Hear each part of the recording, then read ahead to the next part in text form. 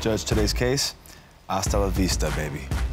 I have a very attractive couple here that are trying to protect their love in the land of Instagram likes and booty shaking.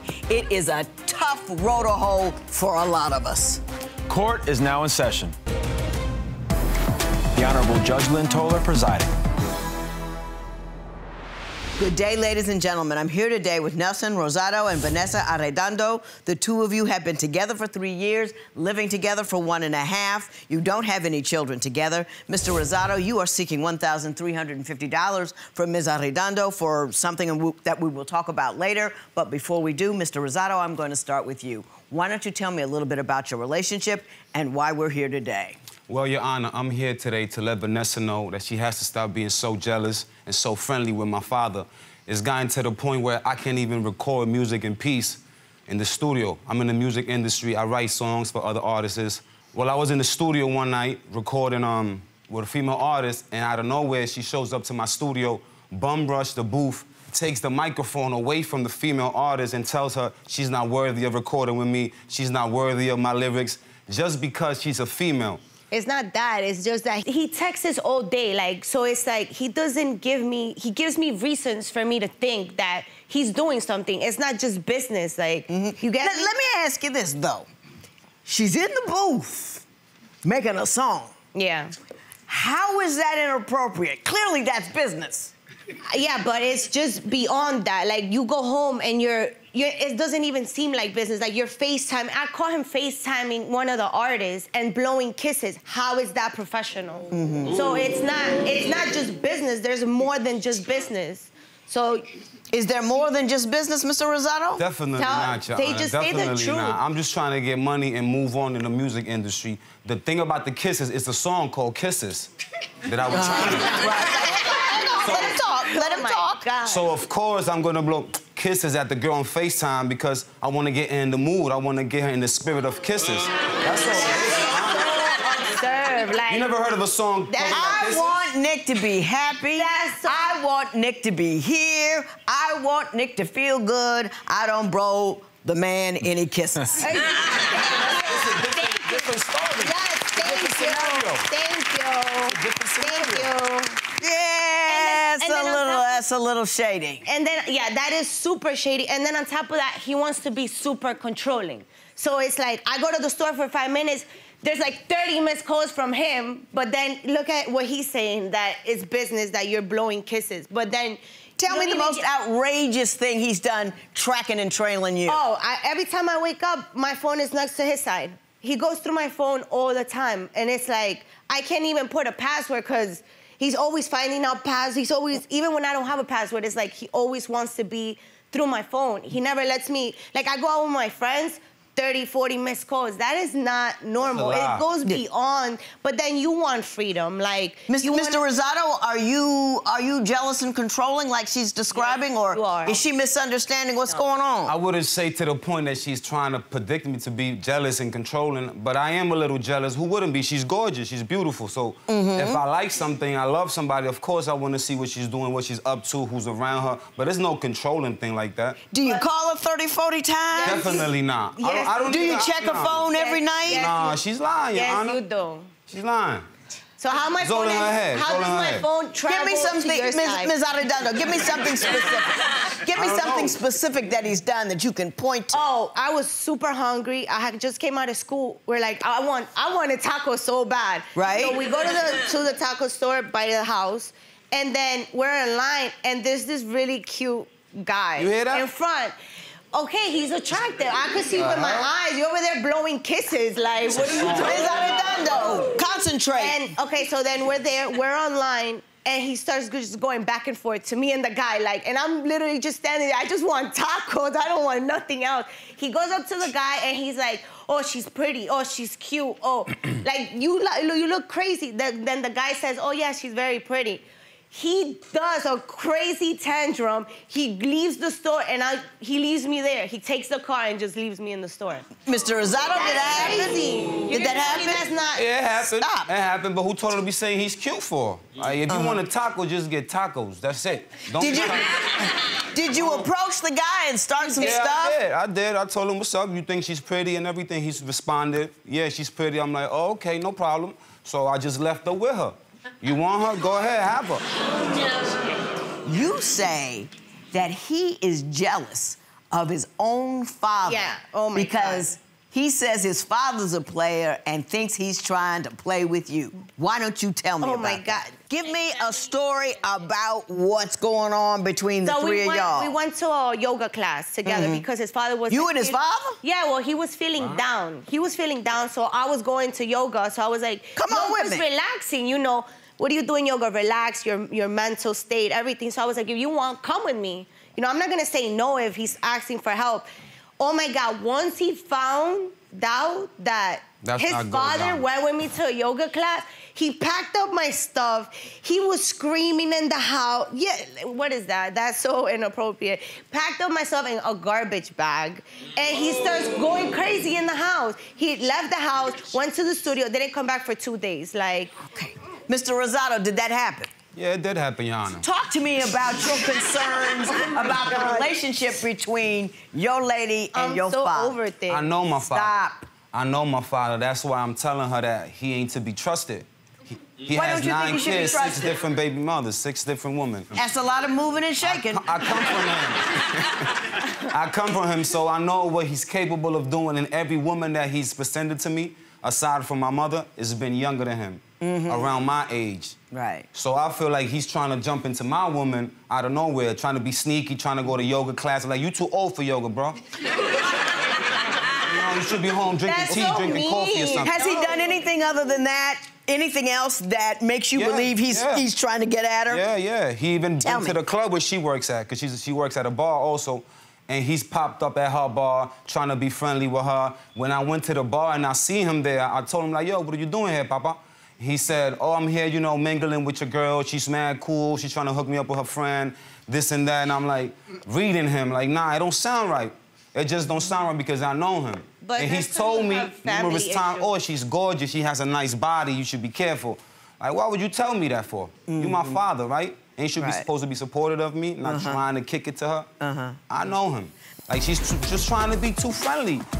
Clout chasing. Is there- Thirst trap. I'm not clout I know what clap tracing is. Oh. though. I feel sorry. I'm telling you.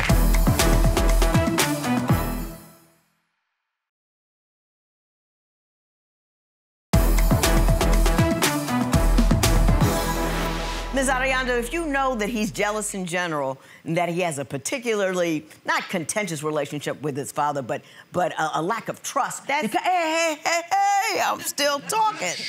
Uh, but because of who he is and how he's conducted his past, would it not behoove you to be a little distant from the father in order to comfort your man? Yes, you're you're right, Your Honor. But this didn't like it started building. He never told me this. He oh. never sat like he never sat down and really spoke to me about it. It was just like me, I love family. Where I'm very big in family, so it's like, why am I not gonna be friends with your family? That's the way I grew up. Yeah. But then he has other issues. Like his issues are personal with his dad, so that's why he overreacts. Do you have personal issues with your dad? Yeah, he didn't Like raise what? me.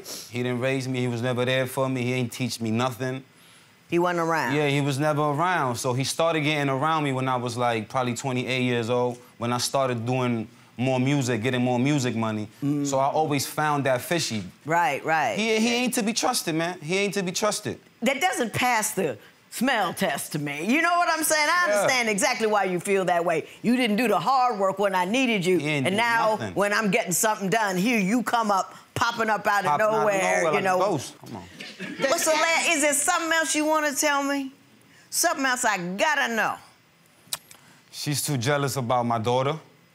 Tell me about that. Anytime I go see my daughter, it could be two, three hours, because I only get permission to see my daughter two times a week, right? Right. So I'll spend those days like four or five hours with her, and she's constantly calling me, constantly FaceTiming. She wants to know my every move with my daughter. In her mind, she thinks I'm with an ex or something. trying Mm-hmm. to do some other thing besides being with my daughter.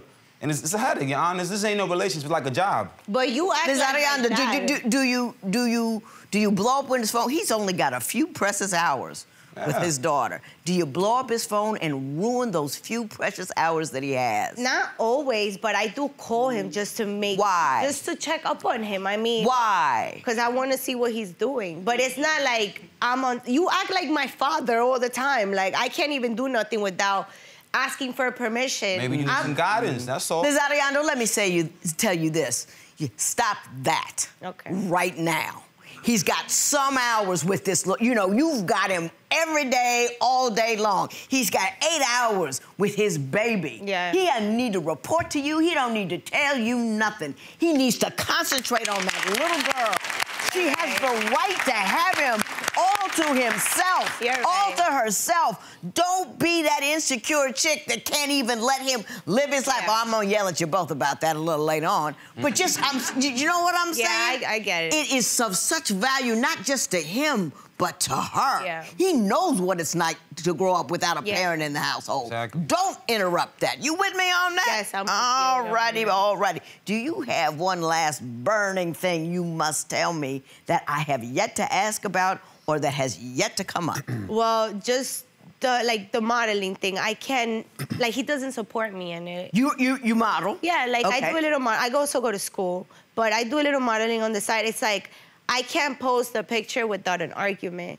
So it's like up to the point that I don't. I can't even have social media without an argument. Or every picture, like he wants me to. Everything has to be about him. Nothing could be about me. He doesn't give me that space to be supportive with me either. He says I'm not supportive with him. But it's like, how do you want me to be supportive with you if you're not supportive with me uh, at all and like what I really like and what I want to do. Your response to that? She- All she do is post thirst trap pictures, miss. Thirst trap No, I don't. I know what thirst trap means and everything. I've been to this nation. So I you know, it. if you a guy and you scroll and you scroll and you see something, else, oh, boom, like, you're gonna leave a comment. Uh. And the thing about the comments is she replies back to everybody like she knows them. Like she's too, just trying to be too friendly. Clout chasing. Is there- thirst trapping. I'm not clout I know what clap chasing is. Oh. too. I feel sorry. I'm telling you. Yeah. That's two in a row. There you go. As long as everything from the waist down remains where it should be, is not indicative of a lack of trust, care, fidelity, or kindness towards you.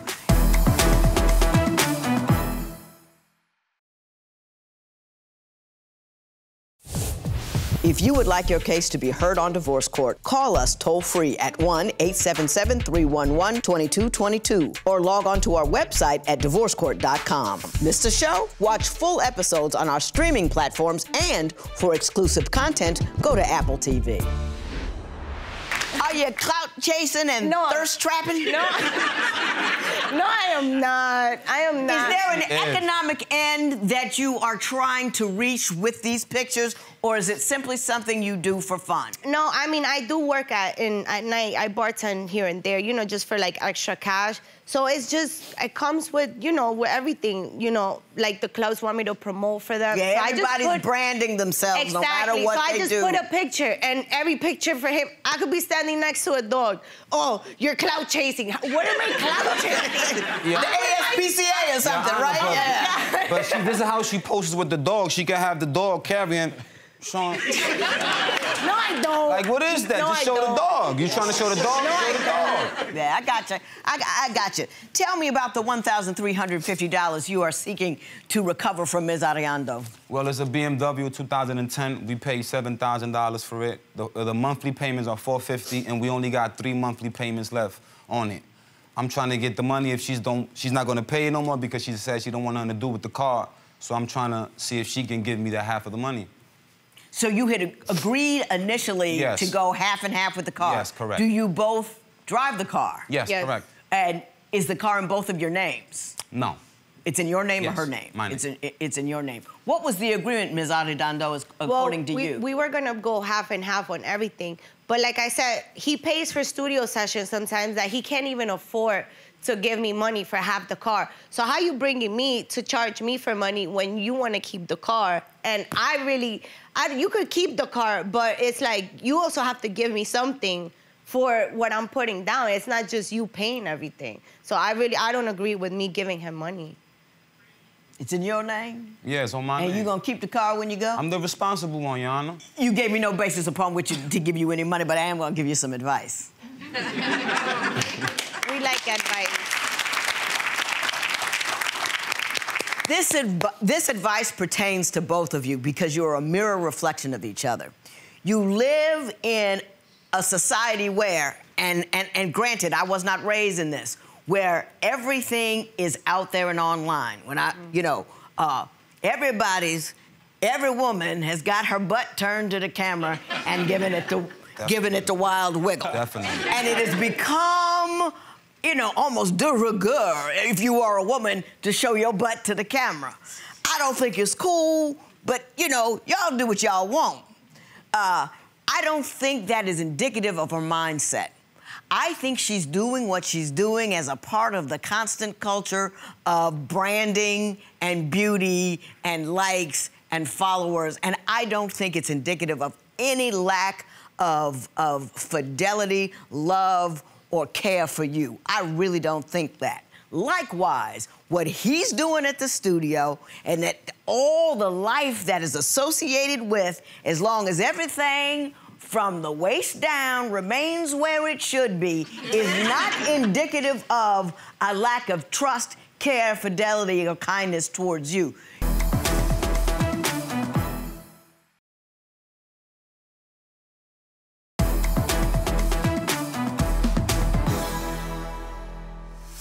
You guys have to learn to trust one another. It is very difficult living in a world where everything you see is a threat to your relationship.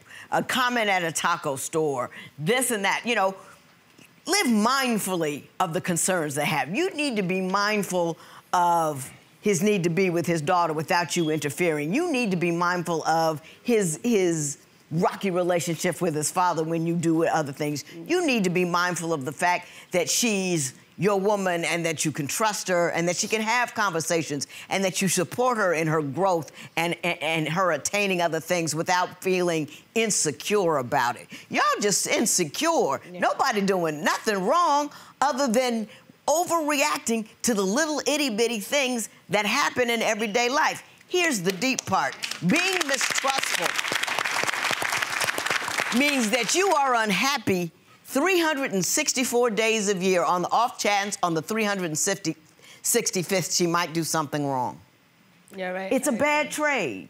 You're mad every day, all day, anything that happens at, because you think that might mean that she might or that he might. Why do it? Just trust him. Yeah. Just trust her and love. And if one day he gets caught with his trousers around his ankle in the wrong place, that's when you go. Yeah. One day she gets caught doing the same thing, then you go. But in the interim, enjoy one another. You're right. Love that she's beautiful. Love that he's handsome. Don't don't it's difficult to love from a place of fear. Do it from a place of confidence. Do you understand what I'm saying? Sounds good. You're right, Your Honor. I like that. Y'all a gorgeous couple. I like you both. I Thank wish you the best, and there will be no recovery in this matter. Thank you so much. Well, I'm feeling good about the advice that she gave us. I feel like I'm gonna take it upon us to really be more positive and be more loving with each other and less insecure. He kept saying you're too friendly, especially with his father. Are you gonna distance yourself a little bit and kind of respect those boundaries? Yes, I am. The judge gave us some really great advice. And, you know, I'm going to respect the fact that he doesn't have that relationship with his father. So I'm really going to fall back and let them build their own relationship on themselves.